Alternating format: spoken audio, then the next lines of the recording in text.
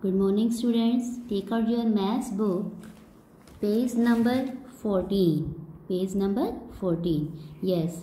Today we will write the numbers in the expanded form. Expanded form. Write the numbers in expanded form. Example 103. How many hundreds are here? 1. How many tens are here? 0. How many ones are here? 3. Now we will write these numbers in their numerals. 100, 100, 0 tens, 0, 0 and 3 ones, 3. 100 plus 0, 0 plus 3. If we add these numbers, we will get the number 103. And this is called expanded form. Now the number is 576. Now tell me how many hundreds are here? 5. We will write here 5. How many tens are here? 7. And how many ones are here?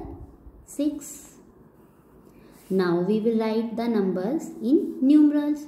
500s. How we will write down 500s? Like this. 7 tens, 70. 6 ones, 6. 500 plus 70 plus 6 is 576. Now 249. How many hundreds are here? If you want to make it easy, you can write here ones, tens and hundred. Now it's easy for you to find out how many hundreds, how many tens and how many ones. How many hundreds? 2. How many tens? 4. And how many ones? 9. Now is it easy? Yes. 2 hundreds, we will write 200. 4 tens, 40. 9 ones, 9. 200 plus 40 plus 9. 9 will become 249. 488. Again I will write ones, tens and hundred. How many hundreds are here? 4. How many tens are here? 8. And how many ones are here? 8. Now 400 plus 8 tens is 80. 8 ones. 400 plus 80 plus 8 will become 488. 807. Again I will write ones, tens, hundred. How many hundreds are here? 800. How many tens are here? 0.